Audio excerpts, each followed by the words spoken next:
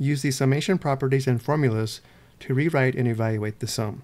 We have the summation from i equals 1 to 24 of 9 times the quantity i squared minus 4i plus 2.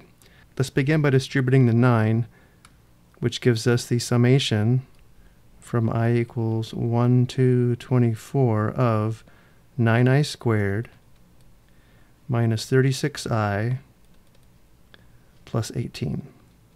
And now from here, we'll write the summation of the summer difference as a summer difference of summations, and we'll also factor out the coefficients, which gives us 9 times the summation from i equals 1 to 24 of i squared minus 36 times the summation from i equals 1 to 24 of i plus the summation from i equals 1 to 24 of 18.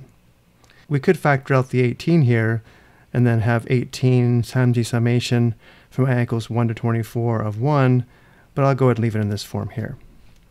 And now we can evaluate each summation using the summation formulas below. For 9 times the summation from i equals 1 to 24 of i squared, we'll use the summation from i equals 1 to n of i squared, which equals n times the quantity n plus 1 times the quantity 2n plus 1 all divided by 6, where notice in our case n is 24, which gives us 9 times, again n is 24, n plus 1 is 25, and 2n plus 1 is 2 times 24 plus 1, which is 48 plus 1 or 49. All this is divided by 6, and then we have minus 36 times the summation from i equals 1 to 24 of i.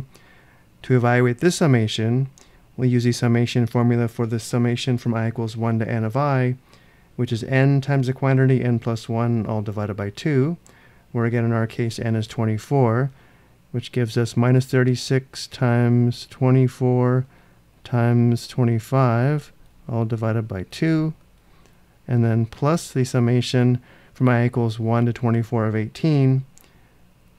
To evaluate this, we'll use the summation formula. The summation from i equals 1 to n of c, where c is a constant, is equal to n times c, which in our case gives us 24 times 18. Simplifying 24 divided by 6 is equal to 4. And 24 divided by 2 is equal to 12. We now have 9 times 4 times 25 times 49 minus 36 times 12 times 25 plus 24 times 18, which equals 33,732.